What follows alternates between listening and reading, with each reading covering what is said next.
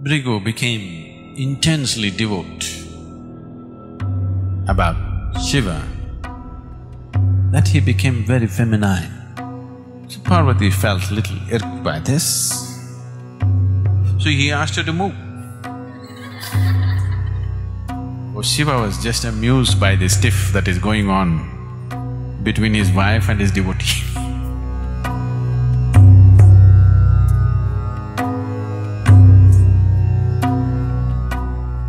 if you are not aware of this already, Shiva in yoga is seen as the… not as a god, but as the Adi Yogi. That means he's the first yogi. And the Adi Guru, that means the first guru. And today, yoga as a science, yoga as a system, yoga as a technology for inner well-being is available to us only because of the feminine play that is, Parvati compelled him to teach. By himself, he would have never done that. So because he became the first guru, naturally he developed disciples and devotees. Of the first seven disciples that he taught yoga to, who are known as Saptarishis, of these Saptarishis, the whole of southern mysticism has come from Agastya Muni. He is everything here because everything that we know is from him. He was his Shiva's direct disciple. Another disciple was Bhrigu.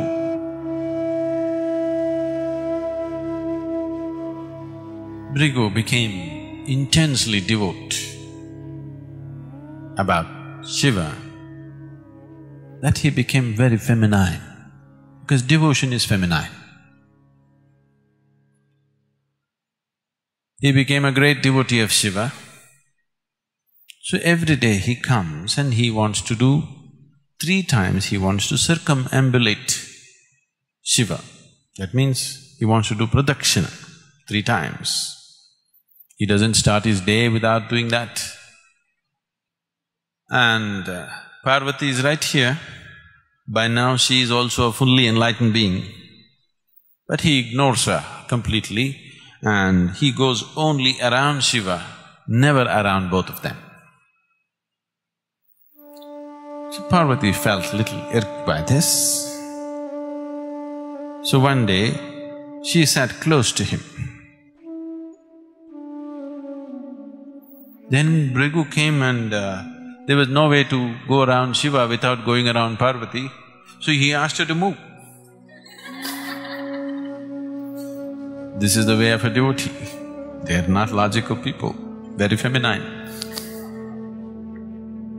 But they're intense. Parvati said, why should I move? He said, I will go only around the Lord, not you. Bhrigu saw there was not enough space for him to go around Shiva alone, so he converted himself into a mouse and went around Shiva alone, ignoring Parvati or excluding Parvati from the circumambulation. So Shiva was just amused by this tiff that is going on between his wife and his devotee. so he looked at the whole thing and he grabbed Parvati and put her on his lap, just to see what he will do. How is he going to circumambulate Shiva without circumambulating Parvati now because she is sitting on his lap? Then Bhrigu transformed himself into a bird and went around just Shiva.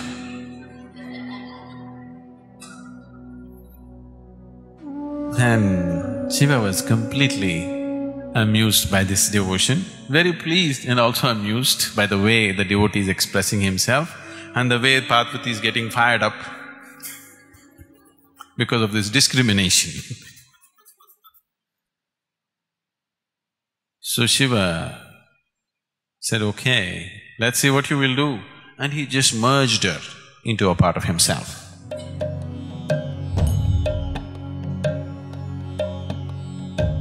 Shiva has become half Parvati and half… half woman, half man.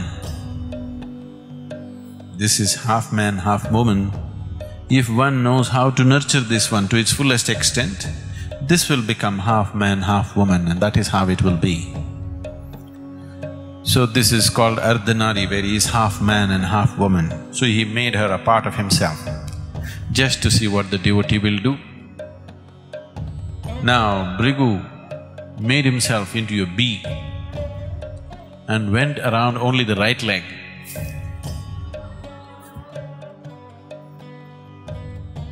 So Shiva and Parvati, both of them laughed and he said… they said, this is not a man, He's too feminine. What he's dedicated to is everything to him. He's blind to everything else. So he just buzzed around the right leg refusing to go around the left leg because this is Parvati. then this childish way of devotion of Bhrigu was amusing and nice, but at the same time, Shiva did not want Bhrigu to be lost in his devotion and miss the ultimate nature of the existence. So, he got into the yogic posture of Siddhasana, where there was no way for him to circumambulate his leg or any other part of his body. If he has to do it, he has to do it for both these principles of feminine and masculine.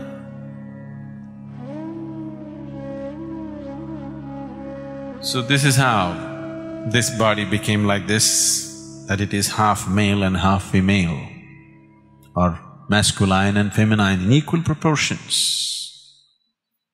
If one knows how to nurture this one, both will be fully active and alive in every human being.